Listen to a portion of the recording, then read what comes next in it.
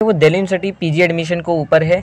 आज की जो वीडियो है वो basically D U L L B का एंट्रेंस एग्जामिनेशन पैटर्न कौन सा होगा और सिलेबस अभी अपडेट हुआ है 2023 का सिलेबस क्या रहने वाला है और पेपर पैटर्न कौन सा फॉलो फॉलो होगा सीट्स कितनी है एलिजिबिलिटी क्राइटेरिया क्या है। तो मैं सबसे पहले आपको ये डी का बुलेटिन दिखा दूँ, ये पीजी का बुलेटिन है एलएलबी का आपको करनी है अगर डी से। तो सबसे पहले यहाँ कैटेगरी का हिसाब यहाँ पर इन्होंने दो कैटेगरी बता रखी है वन और वन बी तो सबसे पहले इन्होंने कहा है, आपके पास जो है बैचलर डिग्री डिग्री होनी चाहिए किसी भी यूनिवर्सिटी से। Bachelor degree from a recognise university ठीक है? तो किसी भी यूनिवर्सिटी से आपके पास बैचलर डिग्री कंपलसरी है होना। दूसरी चीज़ है, अगर आपके पास मास्टर डिग्री है तो ठीक है, लगा देना अदरवाइज़ मास्टर डिग्री कंपलसरी नहीं है। ये चीज़ आपको ध्यान में रखनी है, ठीक है? अब यहाँ पे मिनिमम मार्क्स आपके कितने होने चाहिए, ये चीज़ आप ध्यान से देखो।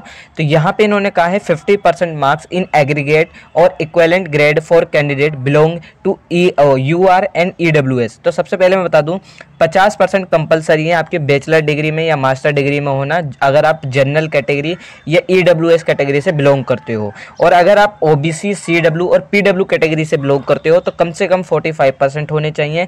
और अगर आप एससी और एसटी कैटेगरी से बिलोंग करते हो तो कम से कम 40 परसेंट होने चाहिए। तो ये तीन कैटेगरी तीन है, यहाँ पे आप लोगों को बता दिया मैंने कैटेगरी का हिसाब, ठीक है?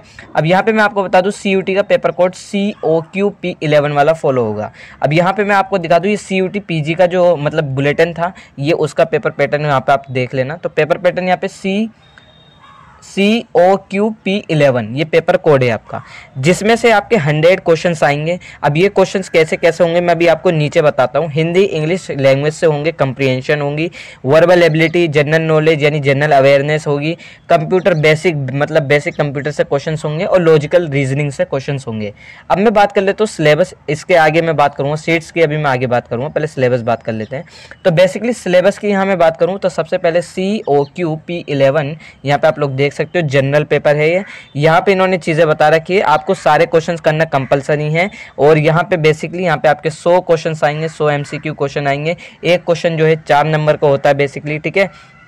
अब यहाँ पे इन्होंने बताया candidate has to attempt verbal ability language comprehension in one language only ठीक है तो आपको एक ही लैंग्वेज में करना है, या तो हिंदी करनी है, या इंग्लिश में कॉम्प्रिहेंशन करनी है, ठीक है? और the remaining question will be would be bilingual ठीक है? अब यहाँ पे मैं बात कर लेता हूँ जनरल पेपर आपके C O Q P eleven के आप लोग देख सकते हो। तो सबसे पहले इंग्लिश कॉम्प्रिहेंशन में क्या क्या चीज़ें आपसे पूछी जाएँगी? तो बेसिकली आपकी इंग्लिश ग्रामर है इंग्लिश यूजेज एरर है जम्बल पेरा है सेंटेंस करेक्शन है सेंटेंस इम्प्रूवमेंट मूवमेंट है रीडिंग कॉम्प्रीहेंशन है पैराग्राफ है, यहाँ पे वन वर्ड सब्सटीट्यूशन है सिनोनिम्स और एंटोनिम्स जो हमेशा पूछे जाते हैं तो पूछे ही जाएँगे, ठीक है? और ईडियम्स एंड फ्रेजेज हैं। अब यहाँ पे मैं बात करता हूँ, हिंदी में कॉम्प्रीहेंशन किस तरीके से? तो हिंदी में कॉम्प्रीहेंशन अगर आप हिंदी में करना चाहते हो तो हिंदी में हिंदी व्याकरण पूछी जाएगी, अशुद्ध प्रयोग, परिच्छेद का उचित क्रम, वाक्य शुद्धि, वाक्य परिष्कर, पाठ बोधन, वाक्य की पूर्णता, अनेक शब्दों के लिए एक शब्द हो गया, ठीक है? समानार्थी या फिर विलोम शब्द हैं आपके, ठीक है? मुहावरे पूछ पूछे जाएँगे और कभी कहावतें पूछी जाएँगी आपसे, ठीक है?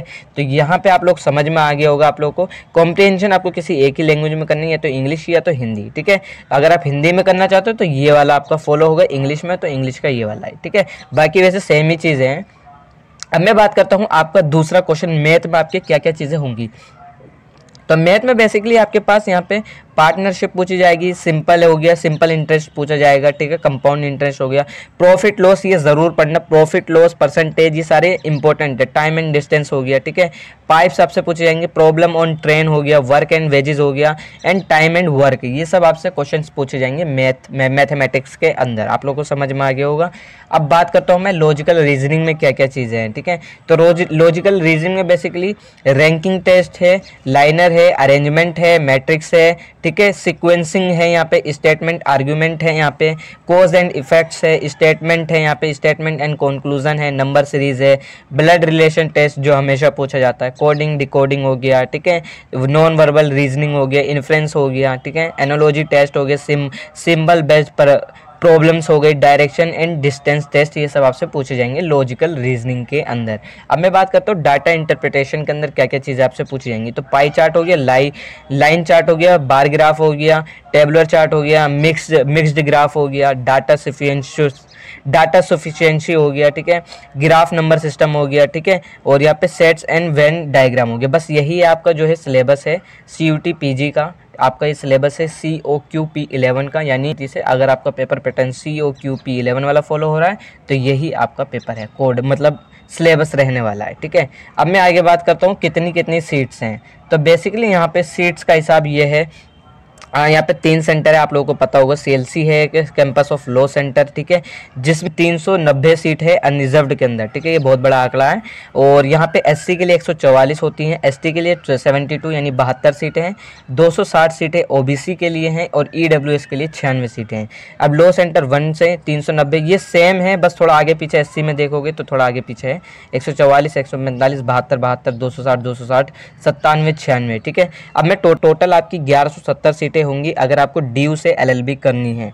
यहाँ पे 433 सीटें हैं एससी के लिए एसटी के लिए 216 ईडब्ल्यूएस ओ ओबीसी के लिए 780 सीट है, और ईडब्ल्यूएस के लिए 289 यानी एकदम 290 के करीब, एक कम 290 है, ठीक है? अब कैटेगरी टू यहाँ पे नील है कैटेगरी आपकी टू फिलअप नहीं होगी, ये चीज़ ध्यान रखना, ठीक है?